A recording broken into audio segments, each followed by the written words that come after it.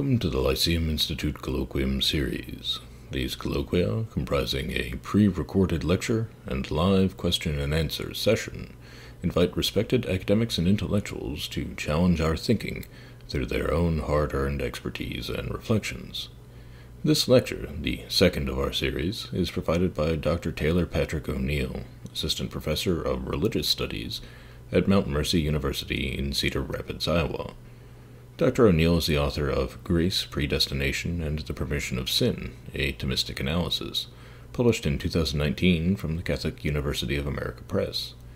Today, Dr. O'Neill will expound on some of these very themes in his lecture on predestination and the doctrine of sufficient and efficacious grace in St. Thomas Aquinas.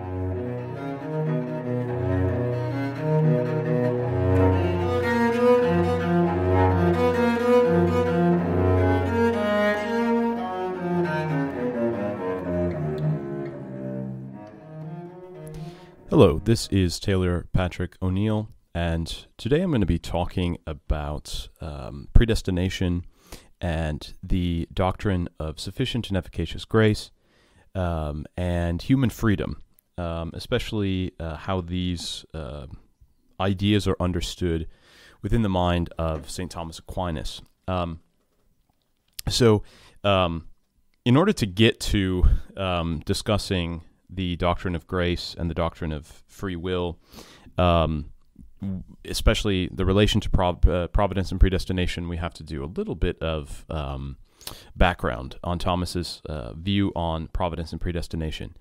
Um, we could spend, um, you know, someone could spend a lifetime doing that. So I'm going to go through sort of as briefly as I, I can, I think, um, simply to highlight uh, the major important principles of what Thomas highlights in his view on providence and predestination, and then how that relates to um, his doctrine of grace and uh, human free action.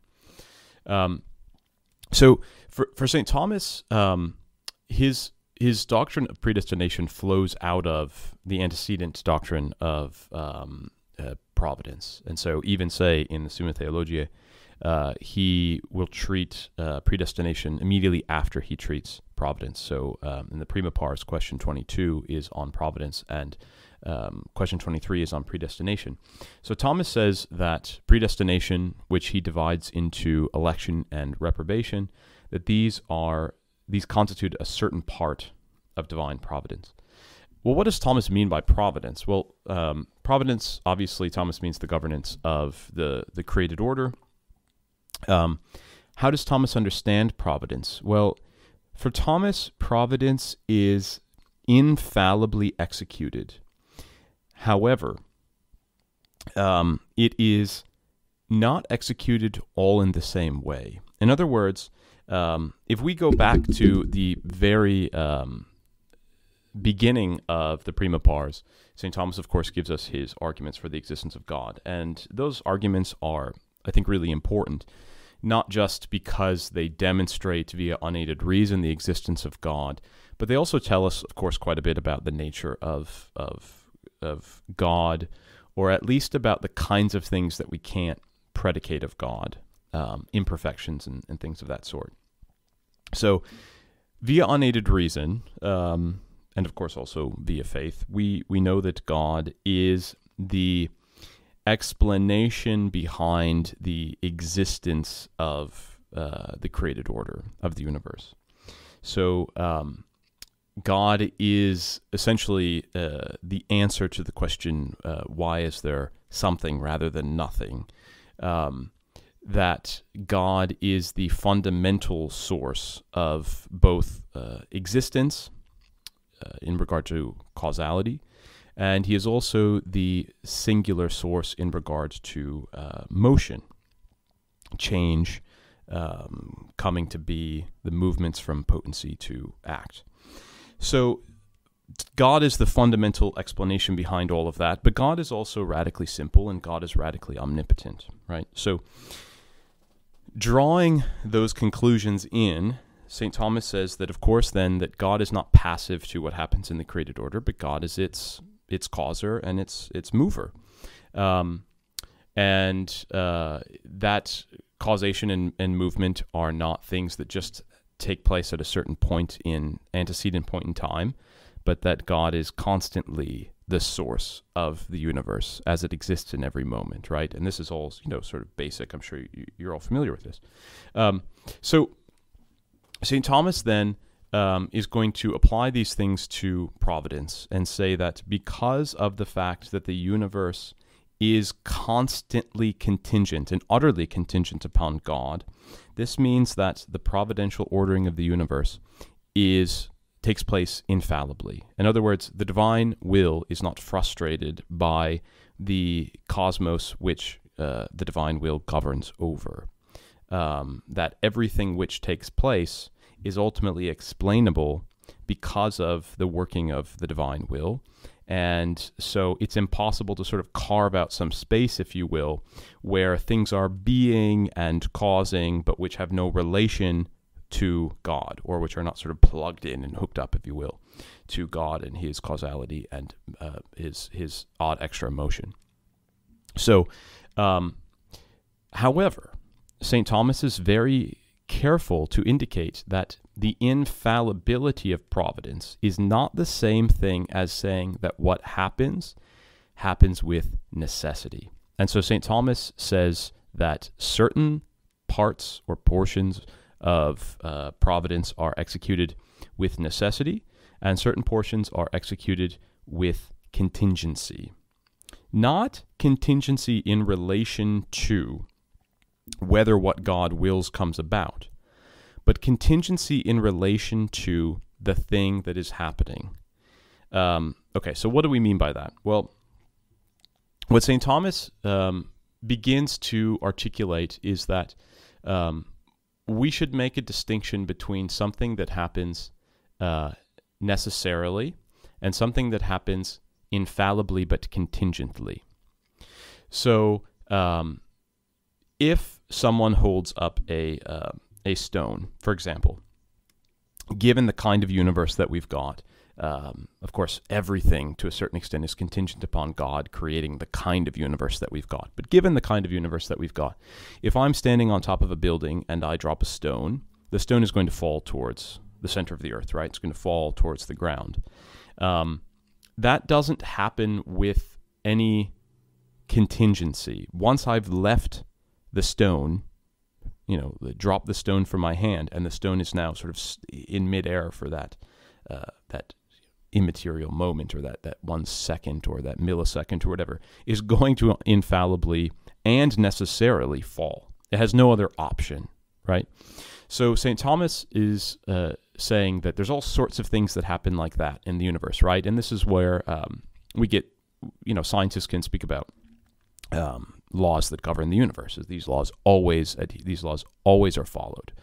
Um, of course, moral law and the free actions of creatures are not quite like that, right? Um, and so for Thomas, what's really crucial then in distinguishing contingent from necessary things is whether the events that we are speaking about retains potencies for other possible outcomes. So if I drop a stone, the stone is going to fall, and the stone is going to um, fall necessarily. It doesn't really have a whole lot of other uh, potencies. Now, maybe if some other thing, uh, some other actor comes into play, a bird swoops in and grabs the stone while it's falling, okay. But in and of itself, on its own, the stone has no other possibilities, no other potencies. It's going to fall. Okay. Now, um, when we're talking about a free action, real free choice, um, it will be the case that I will end up, let's say I'm in a position where I have three options. If uh, I'm in a position where I have three options. Let's say my position is that I'm going to visit a friend, and it's the summertime, and so I can choose to visit my friend. I have sort of three separate uh, times during my summer where I can visit them, where my schedule is open, and I can so I can visit them during June, I can visit them during July, or I can visit them during August. I'm going to end up um, uh, inclining myself towards one of those and only executing one of those options. Again, provided something else doesn't happen, I don't get sick and not go at all or something. But um, I'm going to end up choosing one of those three. However, when I go, say, in July, um, I really had the possibility of going in June or in August. And so, though I am going to end up only bringing one of those potencies into act, nevertheless, those other potencies were real potencies. And I made a real decision to choose just this one particular action among other options. For St. Thomas, that's crucial in understanding the distinction between something that happens with necessity and something that happens with contingency. So now, what St. Thomas says is that providence being infallible leaves open the possibility for God to do all sorts of things or to govern all sorts of things to happen, but in a way which does not transgress the contingent nature of those events. One of the things which is always intrinsically and of its nature contingent are free actions. And that's what it means for an action to be free, right? That it's contingent, that it could have been otherwise. Um, and so I am part of the motion, part of the decision making process, part of the cause of my, say, going and visiting a friend in July rather than June or August. Okay, so if God in his providential ordering of the universe, ordains, as part of the full picture of the universe, that I will visit my friend in July. That ordination, that movement of providence, will necessarily come about because of the omnipotence and the simplicity of the divine will, because God is providentially uh, exhaustively ordering all things, not just some things here and there. Right? He's not another actor within this play of the cosmos, but he's the he's the narrator. He's the writer behind the entirety of it. Um, but my going or my uh, yeah, so my going in July, my obeying, if you will, of the divine providence, is only a kind of conditional necessity. It's not a real and absolute necessity. In other words, my going and visiting a friend in July comes about in such a way that, yes, God has willed it, and to a certain extent, I am doing it because God has willed it, but I'm participating in the um, execution of the divine providence and in such a way that I really could have chosen otherwise, at least in regard to the intrinsic possibility of my actions. So, um, what people mean when they say, "Well, if if it's infallible, how could it have happened otherwise?" Um, I think St. Thomas's answer to that would be: there's two different kinds of um, necessity or infallibility that we could talk about. Um, we've already talked about strict or absolute necessity. Then there's a conditional necessity. So, based upon the condition that God wills that I freely choose to visit my friend in July, of course, it's going to happen that I freely choose to visit my friend in July. But what's important is that nothing in that divine movement has changed um, the fact that I had the potency to do otherwise, nor is the movement moving me in a manner which is necessary. In other words, which takes away those potencies that I have to have done otherwise. So, in other words, St. Thomas says very simply God ordains and governs via providence, but in some ways via a necessity or necessary motions, and in some ways via contingent motions. So um, he talks all about these two different kinds of necessity, and only one of them is a true necessity, right? So one of his stock examples is if Socrates is uh, sitting, then Socrates is necessarily sitting while he sits. In other words, there's a kind of necessity based upon a, a condition, based upon an antecedent. If it's the case that Socrates is sitting, well, then yes, in that particular circumstance, he's going to necessarily be sitting. But he retains a potency to have been standing. He retains a potency to stand at any moment that he's sitting. Um, and so that's quite different, of course, from, say, um, someone who is uh, injured and is unable to stand. Socrates may be sitting just next to this fellow who's who's injured, but there is a real difference between their sitting um, with a potency to be standing or without a potency to be standing. So though they both sort of end up in the same place, if you will, how they got there, how they remain there, is quite different. Only one can be freely chosen, and thus only one is contingent, even if both are sitting by a kind of ordination of uh, divine providence. So, okay, so setting that up then, predestination for Thomas is really just an extension of this idea. Okay.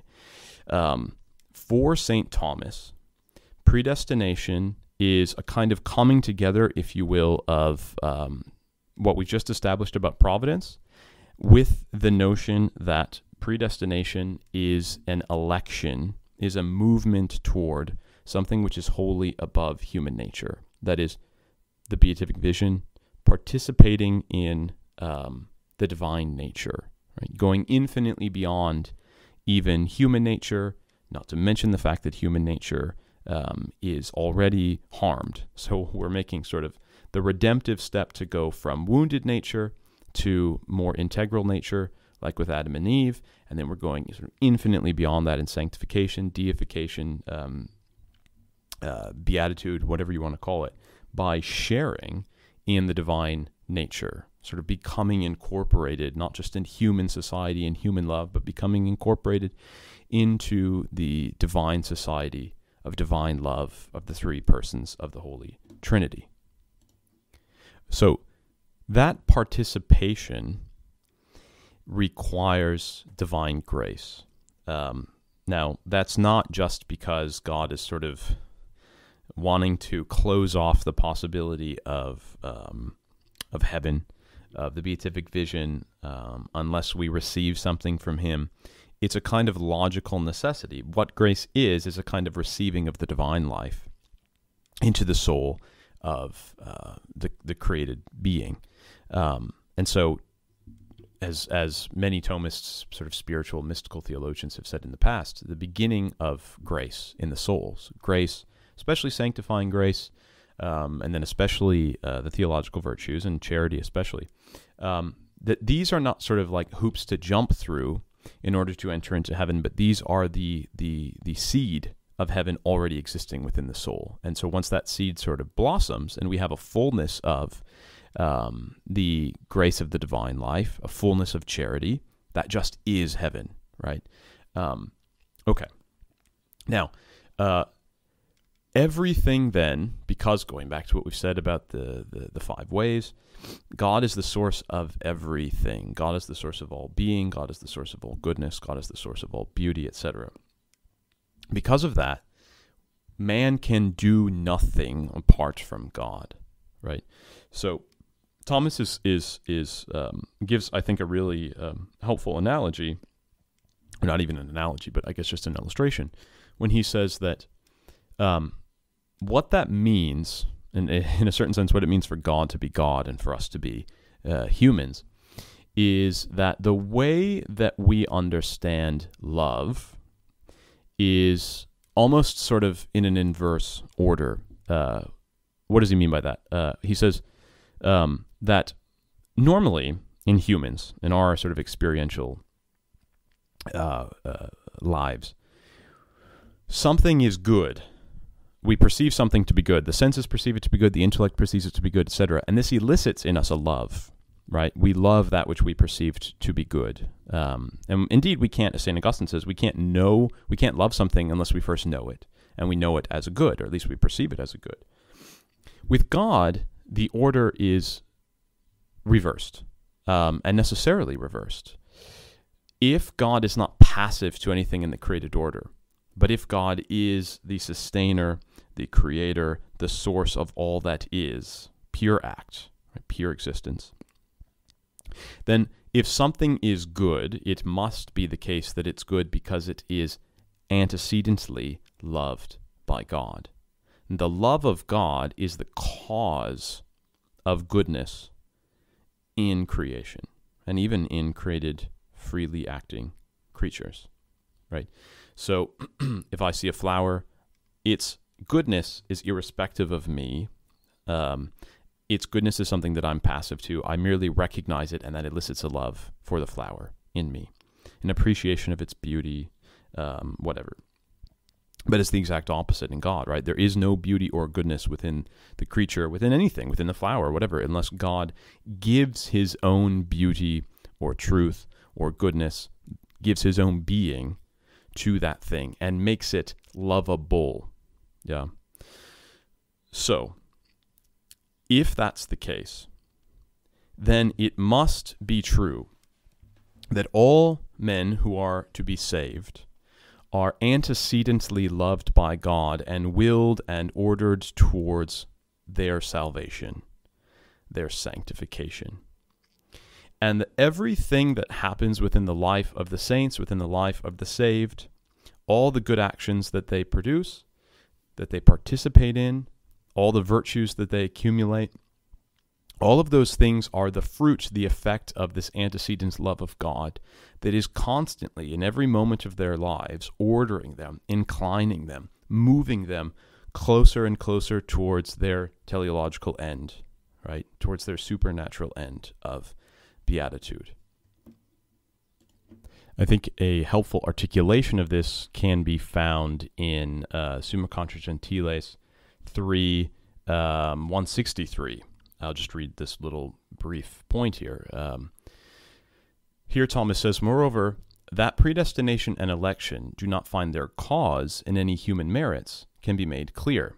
So, Thomas here and elsewhere is trying to establish the point that election is absolutely antecedent to all good actions, all merits, all virtue, all actual graces, etc. That all of those things flow first from uh, this idea of election and predestination, because that is the beginning of the love of God for the creature that is going to carry through, carry it through all the way through to salvation and uh, sanctification. Okay, so it isn't that God is sort of passively looking out and seeing who is going to merit eternal salvation, and then He elects them. That kind of election is passive and non-causal. In fact, the merits then would be causal of what God is doing with the soul, and thus we would be falling into a kind of um, Pelagianism or semi Pelagianism, wherein some good that we have is uh, antecedent to God's will, antecedent to God's goodness, and which God is merely passive to. Um, Garrigou Lagrange has this line. Um, he says, at the end of the day, we either have to come down to either God is uh, determining or God is determined, right? And another way of putting it is that God is either passive to some goodness in us or that God is not. And God is absolutely the source, uh, actively the source of all goodness that's in us. Okay, so merits, so foreseen merits, cannot be the cause of predestination and election.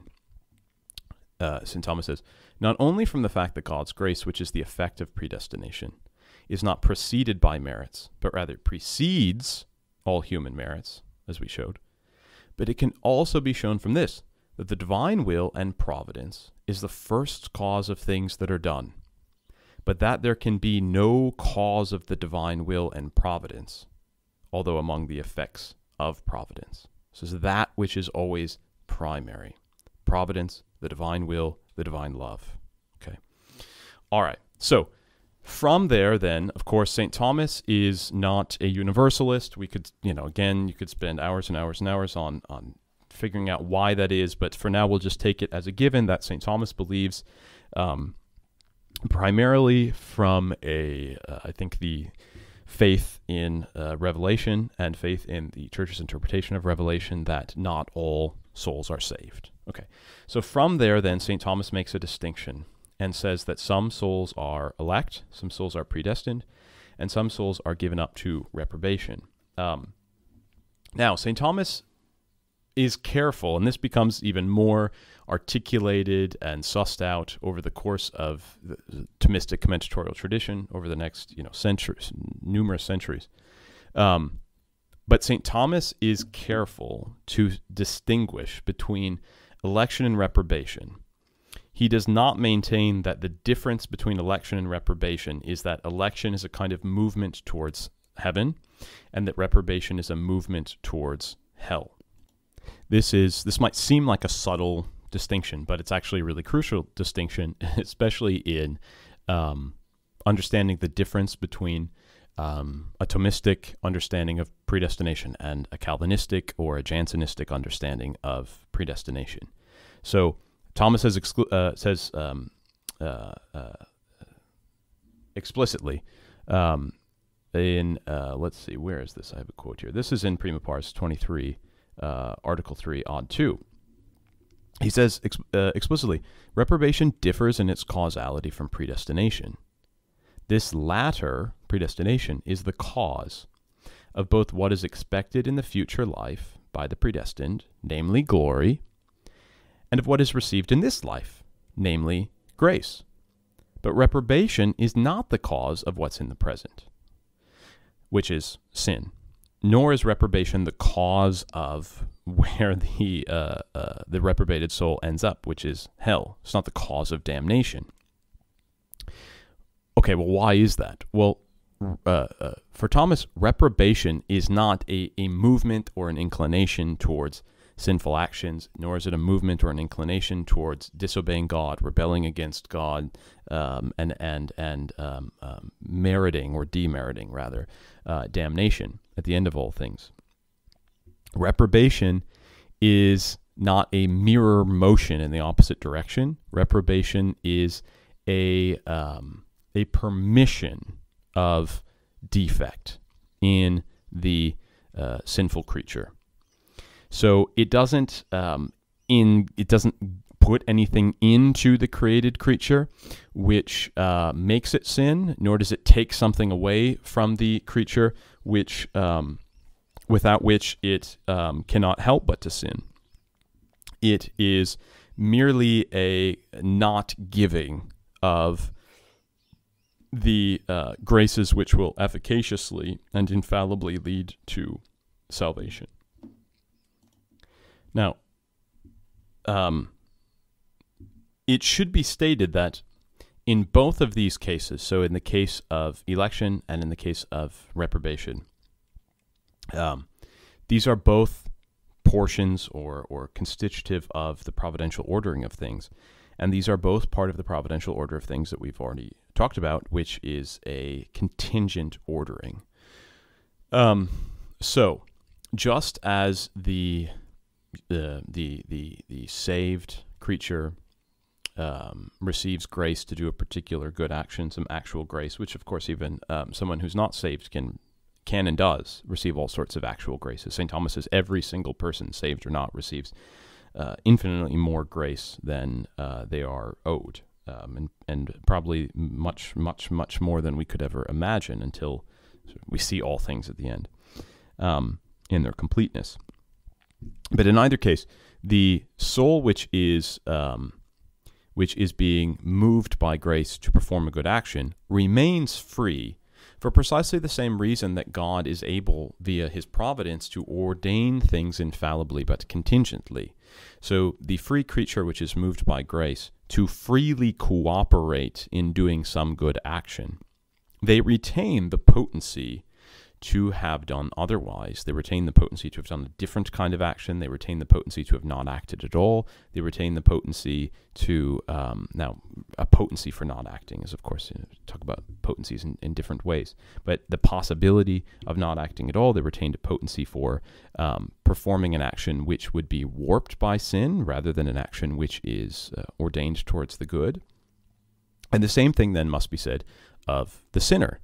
The sinner is going to receive a grace, which is they're going to receive graces throughout their life, which are sufficient for their having chosen better, which is really just another way of saying that just like the person who's acting well, the person who acts poorly has potencies to have done otherwise. They have real potencies to have done otherwise.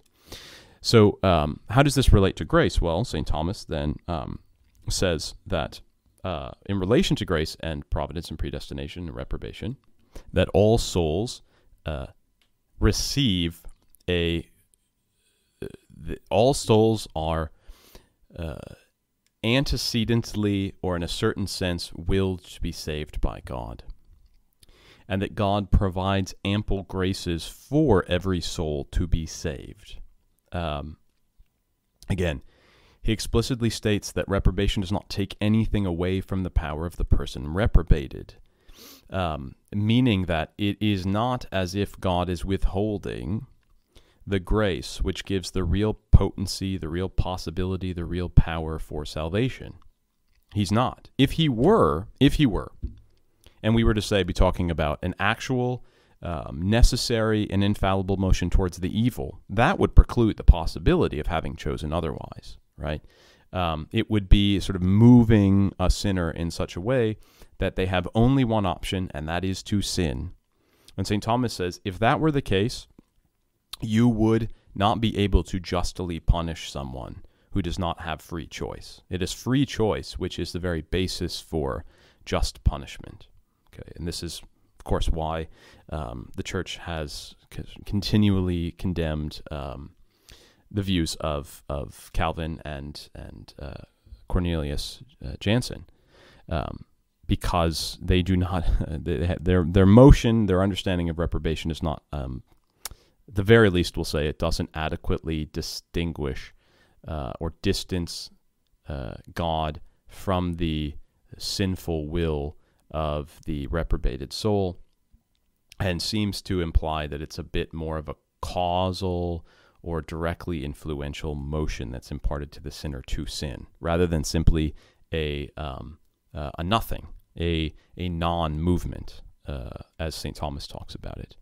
So reprobation takes nothing away from the power of the person that is reprobated. And he says, hence, when it is said that the reprobated cannot obtain grace, this must not be understood as implying absolute impossibility. They retain the real potency, right? But only a conditional impossibility.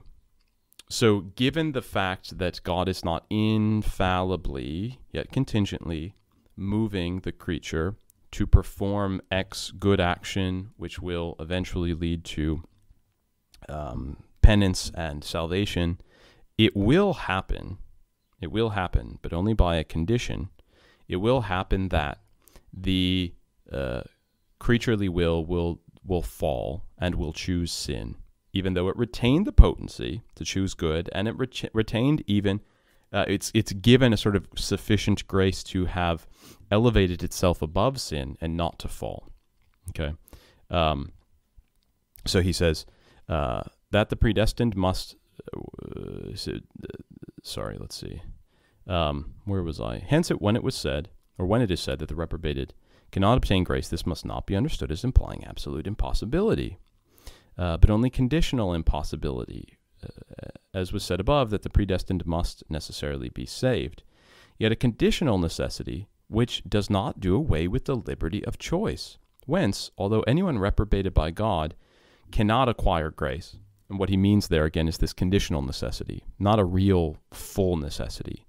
Uh, what he means is that they have the ability to act in a graced manner, but they will not. Nevertheless, that he falls into this or that particular sin comes from the use of his free will. Hence, it is rightly imputed to him as guilt. In other words, when St. Thomas talks about sin, St. Thomas says there's nothing in a sinful action which is at all attributable to God because a sinful action is an action with a kind of defect.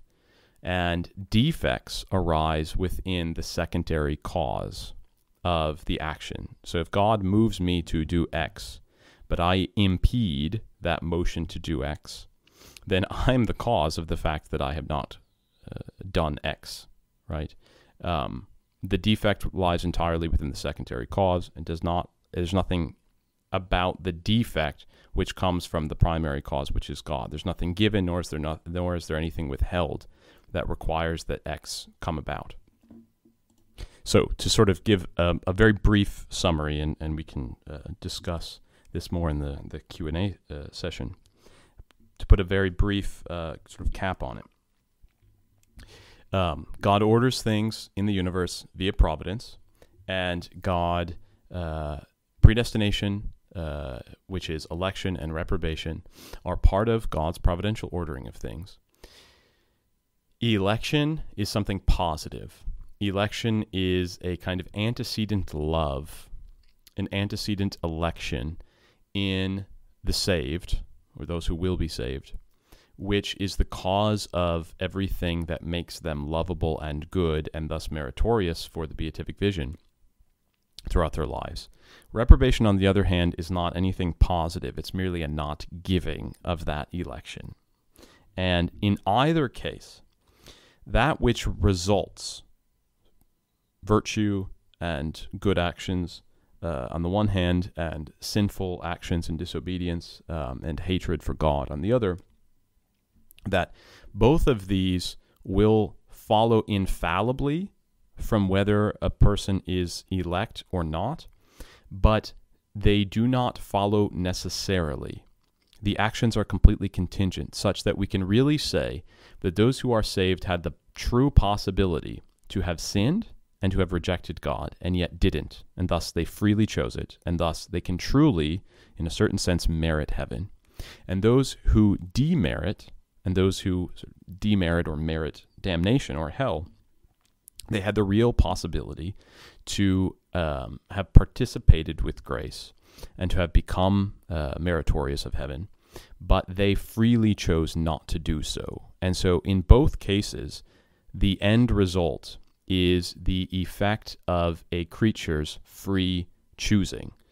Um, and free chose free choosing means um, the possibility, the power of of other options, but settling on one, and that means real contingency, which precludes any kind of necessity.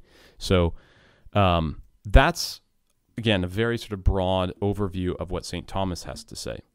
What it is, um, what we'll sort of wrap up with here then is where do we get then the uh, this distinction of uh, sufficient and efficacious grace? Uh, a lot has been made about this distinction. Um, usually, the objections to Thomas's position on this, especially the objections uh, which are rooted in a concern that this doctrine of predestination and reprobation does not provide real possibility and thus real freedom in regard to where the soul ends up, if you will. Uh, a lot of those objections are rooted in um, objections to the very distinction of sufficient sufficient and efficacious grace. And so um, there's been a kind of a um, uh, an argument that's been fairly ubiquitous, I would say, at least over the last 100 uh, years, but you find it even earlier than that. Um, which is that this is not actually what I've just outlined is not actually Thomas's position, um, and that uh, this is evidenced by the fact that Thomas never uses the term sufficient and efficacious grace. Um, I've tried to argue um, that that's only true in a certain sense. So it's true that Thomas doesn't um, sort of say, well, there are two kinds of grace there's sufficient grace or efficacious grace. So there's two ways of understanding grace, and here they are, and here's the distinction, here's what they mean. Uh, that's true. St. Thomas does, however, in numerous places, um, speak about graces which are sufficient and graces which are efficacious. Graces, graces which are sufficient for X and graces which are efficacious for X. He also uh, makes the distinction between graces which give the potency, the power, the ability for X, and then further graces which bring about the actuality of X, uh, bring about the real uh, event of X. Um, and so that's really just uh, sort of implicitly, uh, not even that implicitly, the distinction between sufficient and efficacious grace. So that distinction then becomes a little bit more explicit and a little bit more um, properly uh, refined in um, Domingo Báñez, a Renaissance era Thomistic commentator. Um, and then it's really, especially amongst uh, English and uh, French speaking Catholics, it's um, become quite prominent in association with uh, Garrigou Lagrange um, both because you know he's someone that just died in, uh, 1964, and because his he was so prolific in his writings, um, and so much of it is available. Uh, he's kind of probably the most um, accessible of the Thomistic commentators, uh, especially the, the, the the more traditional Dominican uh, Thomistic commentators. Um, so briefly, then, the idea that sufficient grace and efficacious grace um, the idea behind the distinction, uh, rather, is simply um, taking what is implicitly there in Thomas, taking some of the things that we already mentioned, and giving these things a name. So, sufficient grace is really just a way of describing the fact that God, that reprobation does not take anything away, does not remove anything from the power of the reprobated soul by which they may merit heaven. Now, if meriting heaven can only happen with grace, which we've already said, then for the reprobated soul to really have the potency, the power to have merited heaven, to have participated with God and um, and earned salvation, then it must be the case that all souls, the elect and the reprobate, receive grace, which provides the power, the potency to have acted above fallen human nature and begun to incline themselves toward God. Um, in other words, a grace which is sufficient for salvation, but not necessarily efficacious. Uh, efficacious grace, then, is grace which doesn't just provide the power and the potency, but grace which actually brings about the um, particular potency. Um, in other words, reduces that potency to act. Um, so Garrigou Lagrange, for example, the way he describes the, the distinction between sufficient and efficacious grace is that it's really just the uh, distinction between uh, potency and act as applied to grace. Uh, that's really all it is. Um, so one of the um,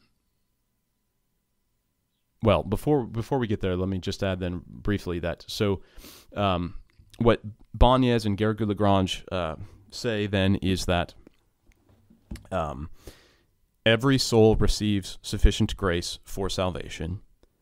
Um, only the elect receive grace which is efficacious for salvation. Um, okay. One of the misunderstandings about this distinction um, is that these are two different graces, um, as if God sort of uh, gives to some people efficacious graces and God gives to other people sufficient graces. Um, which is not uh, so. So that's not an accurate understanding of the distinction, um, and and why that is, I think, can especially be understood if we go back to thinking about it simply as potency and act as applied to uh, to grace. Um, no one there, there, there's no such thing as potencies uh, which are all alone, if you will, right? Potencies always um, inhere in something which is in act. Um, so there are, it's not like there's just potencies floating around out there. Um, potencies are always uh, rooted in something which is actual, something which is existing. So the same thing is true about sufficient efficacious grace. There's really only, if we're thinking about grace in, in, in regard to like what God gives out to people, there's really only efficacious grace. Efficacious grace is grace that brings about some good. Now, it might be sanctifying grace, and so it brings about justification, and it brings about the beginning of sanctification. Um, it might be an actual grace, which is just ordered towards bringing, uh, uh, effecting some particular good action. In either case, though, all grace is efficacious for something. There's no grace that's just given that's um, that's inefficacious. Uh, all grace is efficacious for something. So, what sufficient grace means then, sufficient grace is merely uh, referring to the potencies which come along with having received a particular efficacious grace. So, the stock example of this is that if someone receives a um, uh, an efficacious grace to be uh, contrite for their sins, that that will uh, bring with it a potency towards a further good action, which is, say, to go to confession. Um, now, going to confession is itself a separate action from just the mere contrition, right? You can be contrite and yet end up not going to confession. Um, so that further action of going to confession is going to require a further grace, a further actual grace. But that further actual grace is not necessary to have the potency, to have the ability to go to confession. That that is a kind of potency which is made available, a power, a possibility, which becomes a real possibility for a creature when it becomes contrite about its sins. So sufficient graces are really just a way of speaking about the potencies and possibilities that come along with the, the, the, the real, if you want to put it that way, the ontologically real or the efficacious graces which God does give to us. And so St. Thomas and, and Báñez and Garrigou are arguing that every single person, elect or not, receives plenty of efficacious graces, and every single person is guaranteed to receive uh, the efficacious graces which bring with them sufficient graces, uh, sufficient for um, salvation, even if salvation doesn't actually come about. Um, St. Thomas also makes use of the distinction between um, uh, the antecedent and consequent will of God. I don't want to get too far into that, but um, just briefly, St. Thomas uh, maintains, uh, he actually gets this from uh, St. John Damascene, um, that God does have a real desire for the salvation of all.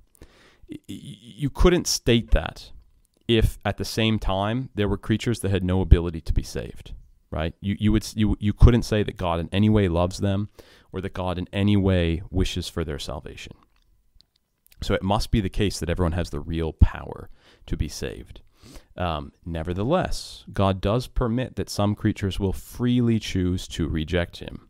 Okay, um, if a soul is um, not going to be maintained in a certain perfection, then that soul is going to, of its own accord, freely choose to fall into some imperfection.